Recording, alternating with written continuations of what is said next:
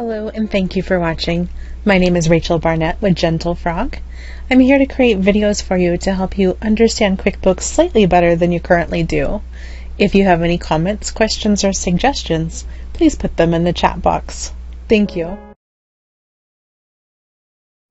In this video, I want to talk to you about remote hosting your QuickBooks desktop. Before I can get into that, I want to be real clear. I'm talking about the Windows version of QuickBooks. I am not talking about the QuickBooks Online software. If you're not sure what the two are, that's the screen right here. To get here, you'll go quickbooks.intuit.com forward slash desktop. On the left is the desktop pricing, which is the Windows version of QuickBooks, and on the right is the QuickBooks Online pricing. These are not the same product, even if you host this one in the cloud. Now let me take you to the other tab I've got prepared for us and it's the hosting providers that are authorized by Intuit. In order to host your QuickBooks in the cloud, in order to take your Windows version of QuickBooks and put it somewhere that you can access remotely from any computer, you need to have a computer that you're dialing into. Basically, that's what remote hosting is. There are a variety of providers that offer this service. They offer it for their own pricing, for their own rates, with their own terms and conditions. These companies do not work for Intuit. These companies are authorized by Intuit to host your QuickBooks in the cloud so you can log into it. I'm going to create a couple of videos, but this video is going to be for apps for rent. So I want to show you how it works and just give you a kind of a brief rundown of it. If it's useful for you, fantastic. And if it's not, no big deal. So I'm going to go to the Apps4Rent website. To get here, it's apps4rent.com um, actually, let me just take you back to the beginning apps4rent.com and then QuickBooks hosting. I ignore the buy now right here and I go to pricing. The reason I do that is because it is not one single price. There's a different price based on these different options. My jam is helping you understand QuickBooks.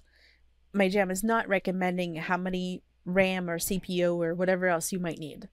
If you're not sure what you need here, talk to Apps4Rent, not me. So what I did is I reached out to Apps4Rent and I said, I, I want to make a video just to explain how this works. And they said, hey, terrific. We'll set you up with a demo file. And I'm like, that's perfect. So I have no idea which version I'm using to demonstrate. I could ask. I don't really care. Really, my objective with this video is just to show you how it works in case it is something to be useful for you. Um, if you look at the perimeter of my screen, you'll see that I'm on a Mac it would be incredibly useful for me to have a way to access my Windows QuickBooks files without using my second computer or some other app to access them. So I might be a good candidate for remote hosting. If you have a situation where multiple people need to get into your QuickBooks desktop at the same time, you might be a good candidate for remote hosting. So let me take you to this in a nutshell, the way that it works is that you need to remote desktop into the computer that is hosting your QuickBooks.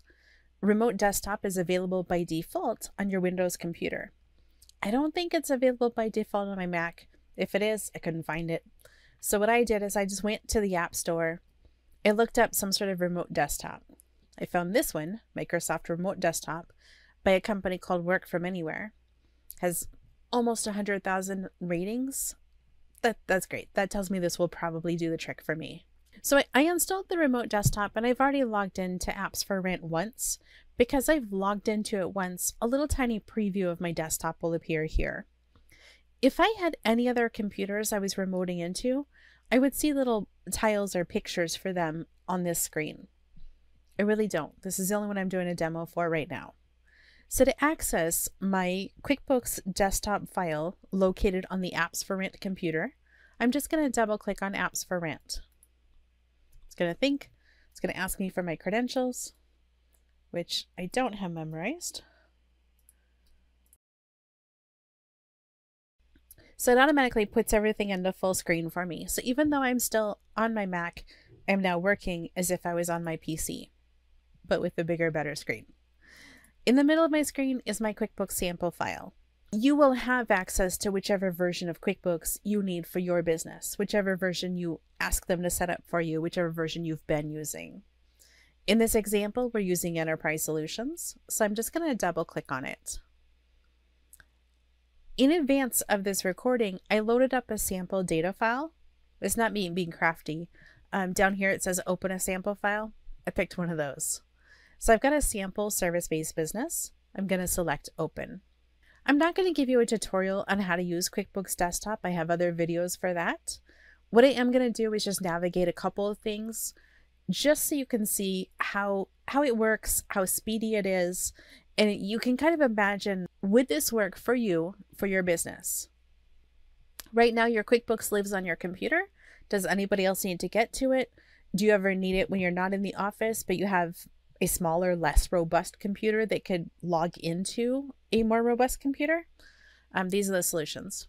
So let's do a couple quick things. Um, things you might do, you might write checks. So we'll do this. Going to say $10. And uh, let's say advertising. Save and close.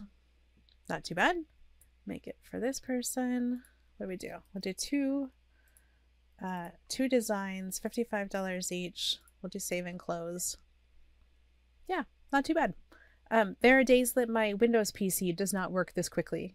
So that's it. I just wanted to show you remote hosting, QuickBooks Desktop. This comes up a fair amount because sometimes I talk to people and I ask them if they're using QuickBooks Online or QuickBooks Desktop. And they say they're using QuickBooks Desktop, but they log into a different computer to get to it. And that maybe that's QuickBooks Online. No, it's it's still QuickBooks Desktop, just with a fancy path to get there. So I'm going to go ahead and close this out while I wrap up the video. If this has been helpful, that's super terrific. If there's anything that I can make a video for to help you understand something better, please don't hesitate to let me know. You can reach us through the comments down below, you can send an email, or you can schedule a call. Thank you so much and have a great day.